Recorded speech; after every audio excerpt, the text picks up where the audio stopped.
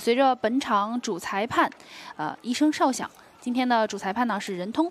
那么，足协杯八分之一决赛，大连人对阵河南队的比赛已经打响了。其实中超的经验都还挺丰富的。是的，刚才左侧阿德里安和钟义浩之间就在做配合，看看这次底线位置，这个球怎么出，跟进还有空间吗？钟义浩个人能力在场上还是能够展现出来的。是的，刚才边路这一次突破呢，通过自己种身体方面的优势啊，嗯强吃对方。看看这次柯昭落点怎么样？阿德里安直接起脚。哎，这脚大门呐、难度还是挺大的。是的，啊首先，柯昭这个传中的落点给的很好。阿德里安呢，你看他非常聪明，他迂回跑了一个后点没有人去防的位置，右脚的侧身凌空打门，还是真是包到皮球了，但是稍微有点偏。这脚传中啊，看着起，落点其实给的也还是不错。没错，阿德里安顺势的一个身体反应，呃，这个动作做的很潇洒。哎，他当时是和童磊一块儿去。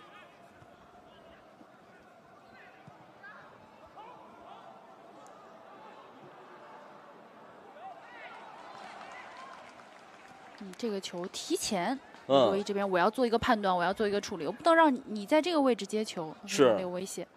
尤其是可能现在一些年轻球员，他在防守的时候，先建立一个这种就是不容易埋雷的影，这种习惯还是不错的哈。是的，嗯，阿德里安这脚转移太清楚了，钟一浩还是在底线附近头球，哦这个球球进了。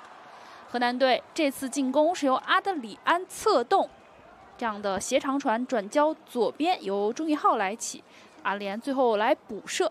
哎呦，阿德里安这个前插速度快呀、是啊，这是从哪儿跑过来的？他刚刚我们说才完成了一脚长传调度，然后呢，钟义浩其实也没有花太长时间呢，把这球传起来，嗯，就来到了这个禁区内。钟义浩今天其实几次这个沉底的传中的落点都不错、啊，是的，阿德里安前插，然后来争落点的这个意识和判断，再来看一下，嗯，太准了。他基本上就是跟着这波这个球的这个进攻线在跑啊，嗯，当然，在这个落点的位置啊，其实呃，参与到争顶进攻的这种选择也还是有。哎，没错，那对于球迷来说，也是用这份支持得到了很好的回报。看看这个定位球啊，他连挑出来，嗯、有摔倒，但是裁判没有吹。嗯，这边反过来，大连人的进攻开动了。反击打得很直接啊，嗯但是我们看呢，就是二防一，包括门将呢，也是在寻找着对方后场长传的第一落点。看看这次右嗯边路自己带球的尝试，速度想吃，摆脱一下。哎呦哎，呦，哎，挺危险的这一系列操作啊，非还是非常精彩的。对，很自信。啊是的，这个球传的让队友比较难接。给的不太理想啊，嗯传了一个中间的地带，然后也目标不是很明确。啊哎，抢回来，看看这次落点还可以，起脚来打球进了。哎呦，哎呦，大连人啊，扳平了比分。是，这次进攻啊，简单干脆高效。嗯，这应该是十五号赵建博，这个射门呢，应该说非常坚决啊，角度包括力量都不错。没错，这次进攻完全体现了大连人的速度的特点啊。起脚打的也非常的坚决，质量很高。那也为大家介绍了，其实赵建博和今天首发的陈荣都是入选了这一期的国奥。嗯，带着这样的一粒进球去到国奥和队友们啊，呃应该心情会非常的不错。对，这种自信度是完全不一样的啊。嗯，其实上半场比赛吕卓毅表现的就是不错的。刚才这次进攻里面，咱们就是说，嗯，大连队今天有一点维持的好，就是裁判只要哨不要响，不要他不响，嗯我的进攻就要坚持，我要继续。看一下林良铭上场之后，能不能立刻的就给大连人这边的进攻增加比较强的火力。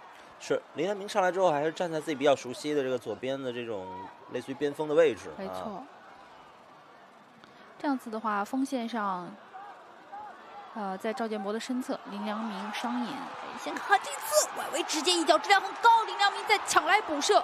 林良铭刚刚上场便有一次补射的机会、啊。是的，第一脚打门是由陈荣来完成的。就第一脚打的吧，虽然正了一点，但还是很有冲击力。对，球速比较快。对啊这是大连人非常好的一次机会啊！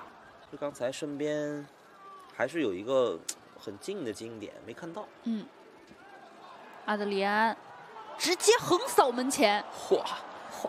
这个应该是用一个射门的方式，是的。啊，四传四射打到门前，不管是自己的球员还是对方的球员，只要碰一下就有可能破门。没错，尤其是这个有真有可能是防守球员碰着。是，嗯好的，人通吹响了全场比赛结束的哨音。那么双方在比赛常规时间战成一比一平，接下来将会通过点球大战来决出晋级的一方。